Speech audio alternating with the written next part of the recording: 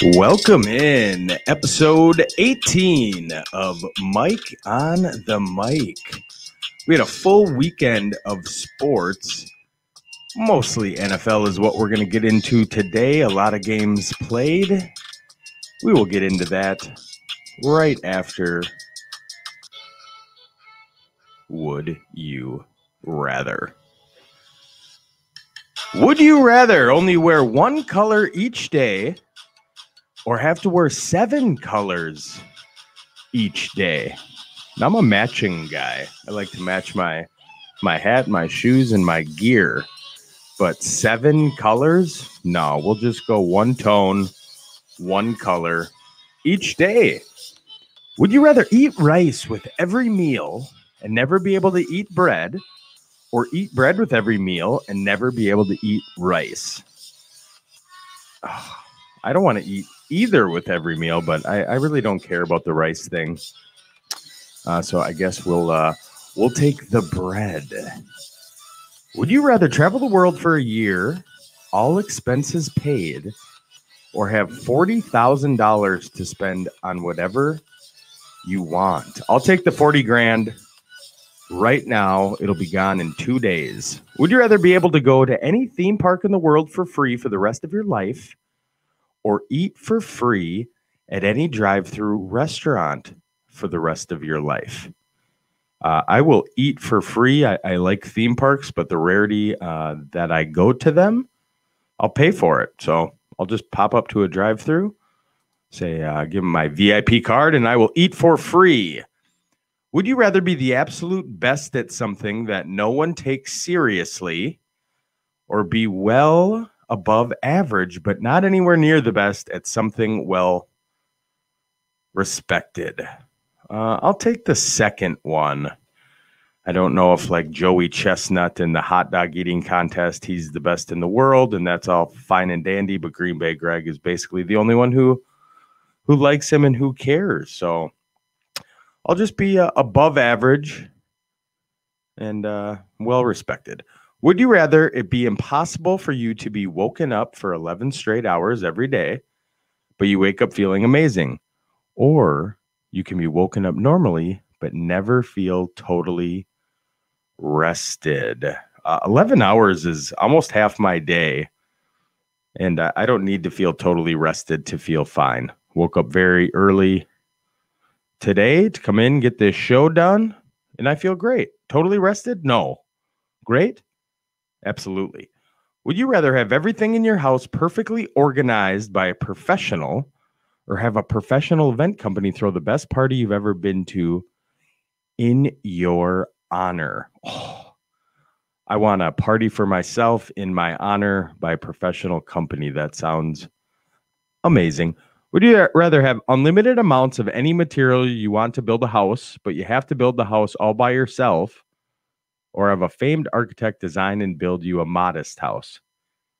Uh, I'll take the modest house. If you gave me all the stuff in the world and told me to build it, it would never, ever get done. Would you rather never sweat again, but not be prone to heat stroke, or never feel cold again, but cold still physically affects you? Uh, this is this is a pretty easy one for myself. Uh, I I sweat a lot in the summer. It, it, gets rather humid here in Minnesota. This is a Minnesota-based show. Mike on the mic. So I will choose never sweating again. Well, good. That was a fun way to uh, to get into the show. I don't know if you noticed this. We are a, a uh, live interactive show. I am live on Twist Facebook, RTF Sports Network Facebook. We are podcastable on all the podcast platforms. But on the top right, if you are watching, you can see that all access. little logo. There's more to come on that. RTF Sports Network is doing a rebrand to All Access Sports Network, soon to be live with a www all access sports network.com. So more of that to come, but exciting stuff right there. Uh, I am a spinoff show from Twist the Weekend Sports Talk, along with uh, Green Bay Greg, GBG, and Benzies Bit, featured by Matt Benz. We're all spinoff shows, but the main show, the flagship, is Twist the Week in Sports Talk. You can find our website at twistsportstalk.com. I'm also on the Twitter. You can find me on the Twitter at got my own show. That's right. At got my own show. All right. Well, the NFL was back. Started last Thursday with the Kansas City Chiefs and Houston Texans. I wonder who won that. That would be the Chiefs, routing the Texans 30 4 to 10. Deshaun Watson didn't really play like himself, ended the game with 253 yards, a pick, and a tutty.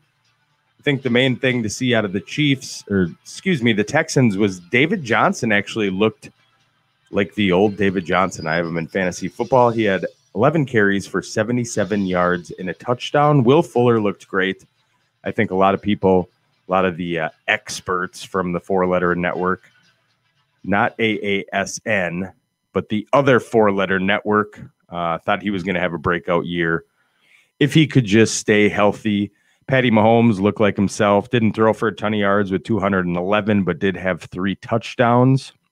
The big thing was CEH, Clyde Edwards Helaire. He had a first round pick, hand picked running back by Patty Mahomes. Um, but he he went off and, and kind of looked like everybody thought he would. 138 yards on 25 carries and a touchdown. He's going to be big in the passing game. Um, I think was targeted once or twice, but didn't have any catches, but looked good. So I caught about three games uh, this weekend, including that one. So we're going to touch on those first, and then just get into some of the box scores. Uh, the next game I caught was my Minnesota Vikings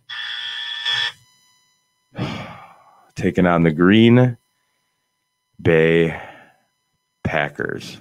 Nobody cares. Yeah. So uh, the Vikings got got stomped. Uh, a lot of takeaways from from that game. Two of the worst plays uh, that were called the whole game was a play action on the one yard line where the Vikings got a safety. So that was very impressive uh, play call by Mike Zimmer. So thank you for that. The other one was a fourth and three, which I was excited that we went for it. Um, I, I, was glad about that, but we went deep uh, and, and we're not successful. Aaron Rodgers, uh, you know, lit Minneapolis on fire.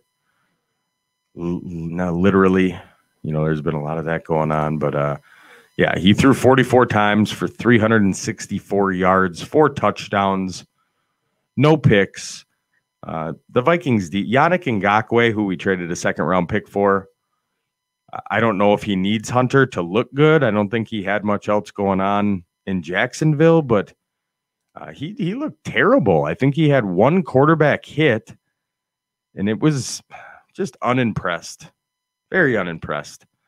You know, the Vikes D uh, typically is a top ten defense every year. We knew it was going to look different. We lost you know, three of our, our starting cornerbacks. So we drafted a ton. Uh, Benzi's boy, Jeff Gladney. I don't even think he hit the field till the fourth quarter. I didn't hear his name at all. Uh, Cam Dantzler, who was the Vikings' third round pick, uh, started for us and was super hyped up in, in training camp. Uh, no preseason. But when you're going against Aaron Rodgers, Davante Adams is one of the best receivers in the league. I think he was thrown to 17 times, 14 catches, 156 yards, two touchdowns. Uh, they really took advantage of you know our lack of experience on the defensive side, and it's scary when when you think about what the outlook looks like you know, for the Vikings. I, I came into it pretty excited, but the trouble is the only missing piece that that we had was Danielle Hunter. Uh, if he's going to make that big of a difference, uh, he's a great player, but I, I just don't see it. So it's it's troubling as a Vikings fan to watch a game like that because where are we going to get better? You know, I, I, had flashbacks of playing San Francisco in the playoffs last year, and Green Bay got got outed by them as well. But the play calling is is very dry. It's forced. You know, we're going to be a run for run first team, so we're going to run, run, run. It's like, no, that needs to. You should get the run going by getting the pass game going first. The Vikings offense looked good when it was panicked and rushed and and ready to roll. You know, when when we try to force a game plan by shoving the run down their throats, it it doesn't work out. You know, Kirk Cousins' box score wasn't horrible 19 to 25, 259, two touchdowns and a pick. But I believe at halftime he was two for two for 34 yards. You know, Dalvin Cook, 50 yards. He did have the two touchdowns. So for fantasy purposes, didn't have a bad game. Adam Thielen looked great, six receptions, 110 yards, two tutties, average catch rate of 18.3. So, really, besides for that, I mean, it, it seemed like Adam Thielen just caught everything thrown his way. Uh, Justin Jefferson, the first round rookie, had two catches for 26 yards. So the box score did not look good, but I was telling Green Bay Greg I had him and Benzie over and, and uh, another buddy and his gal for the border battle. But the two catches for 26 yards, you can see flashes in him. I, I really hope they get him going throughout the year because um, he's going to be fun to watch. I mean, just getting it and going uh, was was fun. So, yeah, horrible outcome. At this point, uh, you know, maybe we can get a top five pick and another quarterback. Uh, it wasn't Kirk Cousins' fault. You know, I, I've talked about this outside of Mike on the mic before. You know, our coaching staff is old.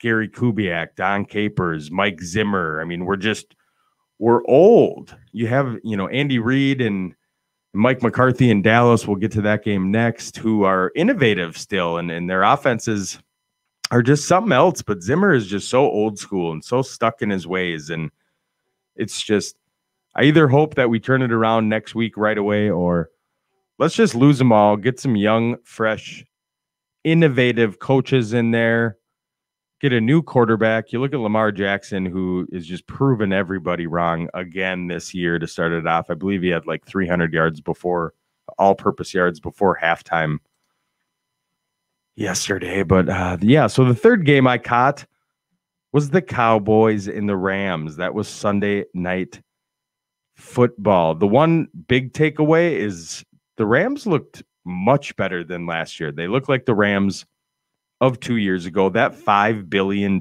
stadium, though it was empty, is very, very impressive. Uh, that was a, a hell of a stadium.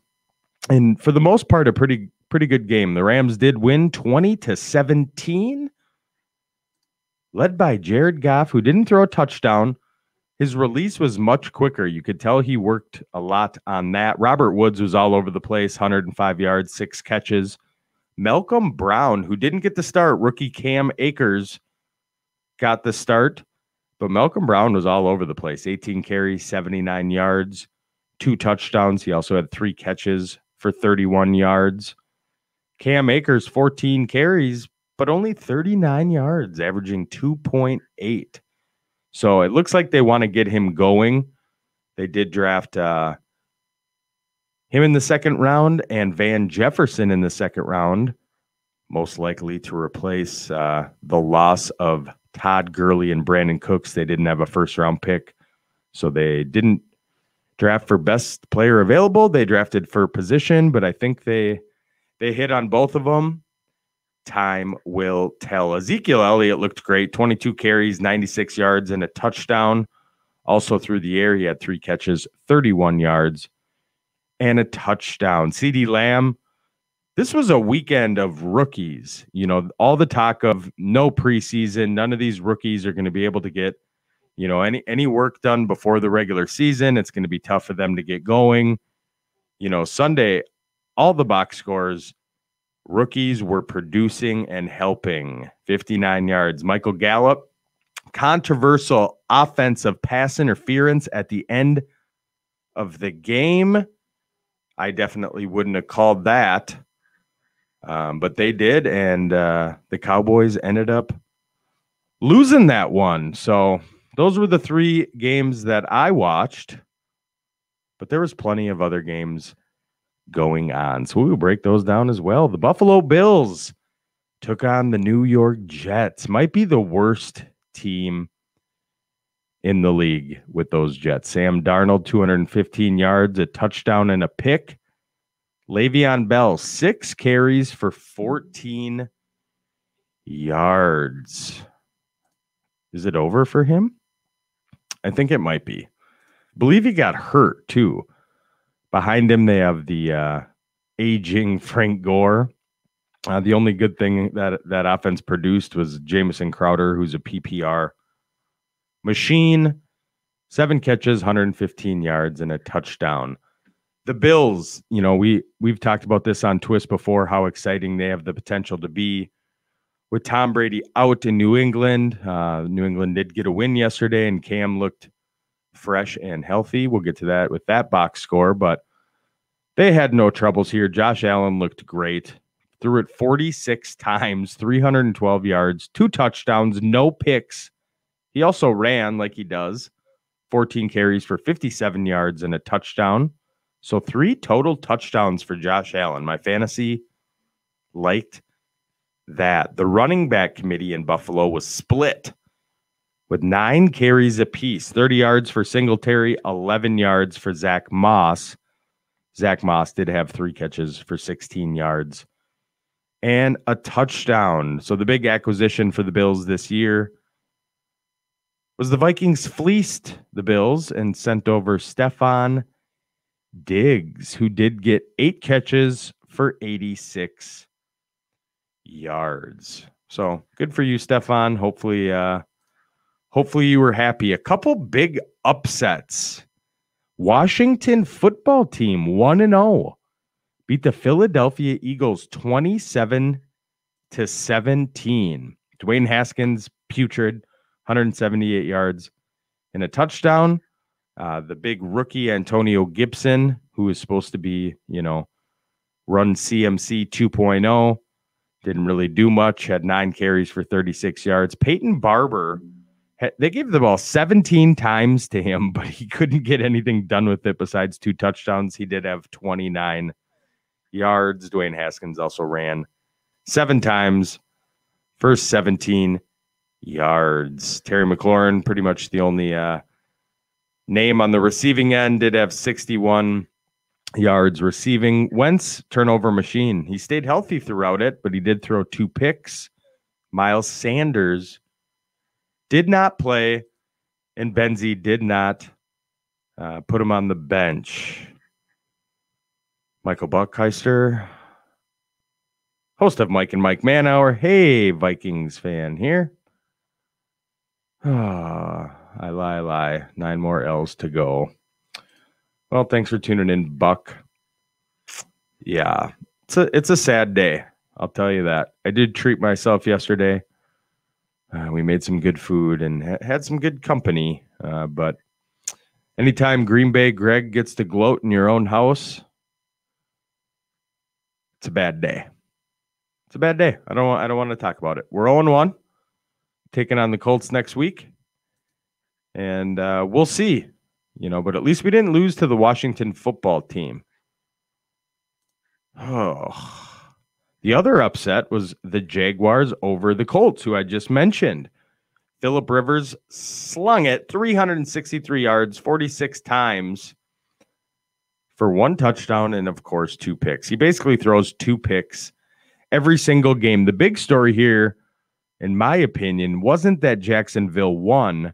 It was that Marlon Mack, they fear he has a torn Achilles, which is horrible news for him. Great news for me I have Jonathan Taylor, rookie running back out of Wisconsin.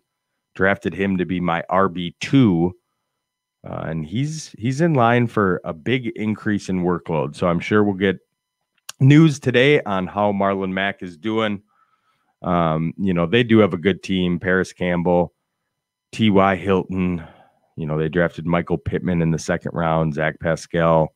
Their defense, their offensive line is really what what people like. But uh, porn star Minshew, you know, he only didn't complete one pass. 173 yards and three touchdowns, no picks, 19 for 20. Laviska Shenault, another rookie, like I mentioned, uh, had a touchdown. So rookies were active. The Bears came back and won it. Those stupid Bears beat the Lions 27 to 23. Looked like the Lions were going to pull it off, but they didn't. D'Andre Swift dropped it to end the game. So, two division games in the NFC North the Bears and the Packers on top of it. The Ravens and the Browns. Kevin Stefanski led Browns. Put up six points. Baker Mayfield looked horrible. 189's touchdown and a pick. Kareem Hunt had more carries than Nick Chubb. Something to watch out for there. Lamar Jackson looked great. Three touchdowns, 275 yards, ran it for 45 yards. Another big story here Mark Ingram only had 10 carries. J.K. Dobbins had all the goal line work. Another rookie, and he also had two touchdowns. So, something to see with these rookies as the season kind of progresses. Seahawks beat the Falcons 38 25. Raiders beat the Panthers 34 30. The Patriots, Cam Newton led Patriots beat the Dolphins 21 11. The Chargers beat the Bengals 16 13. Number one overall pick, Joe Burrow. NFL Red Zone had locked in on this, so I got to see Burrow right at the end of the game, driving his team down, throws it to AJ Green, who pushes off, gets the touchdown, but it was a flag. They go to kick the field goal. Kicker pulls his hammy wide right game over. The Cardinals upset the 49ers. Kyler Murray went off, looked phenomenal in this game. DeAndre Hopkins targeted about 3,000 times and beat the 49ers 24 to 20. The battle of the old quarterbacks to end it out. The Saints beat the Buccaneers 34 23. Drew Brees is so old, they have to bring Taysom Hill in just to throw it over five yards. So this was uh, the game of the week, and the Saints ended up taking that one from Tom Brady. Well, that's it. Little breakdown of the NFL this week. Predictions for tonight's games. Well, I got the Steelers taking the Giants and the Broncos upsetting the Titans. Thanks for tuning in to another episode of Mike on the Mic.